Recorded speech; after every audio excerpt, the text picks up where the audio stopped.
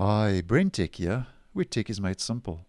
I posted a video about two weeks ago that there was a new Windows 10 and 11 theme available called Pantone Color of the Year 2022, which I have currently applied on my desktop, which is available for download in the Microsoft Store, and I will leave a link down below to that video if you're interested. Now, if you like the new Pantone Color of the Year theme, and you like this new shade of purple called Very Peri, you can now apply the same theme um, in the Microsoft Edge web browser now as well. So to do this in Edge, we just head up to the top right to our menu, click on Settings, then Appearance, and in the Theme menu, just head over to Discover More Themes. And in Microsoft Edge add-ons, in the search, just type in Pantone. That's enough to um, bring up the theme.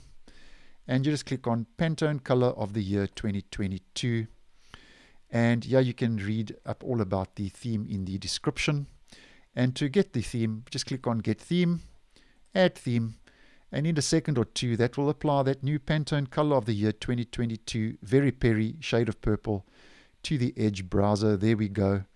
And now, if we head back to our home page, uh, we can see now that um, we have the color of the year 2022 Pantone Very Peri 173938 applied to the Edge browser. So if this is something um, that appeals to you, you can now have that um, theme on your desktop in both Windows 10 and 11 and also now in the Microsoft Edge browser.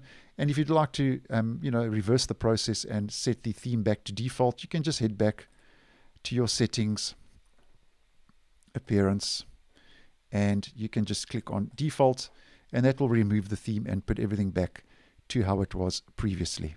So I hope you found this video useful. Once again, thanks for watching and I will see you in the next one.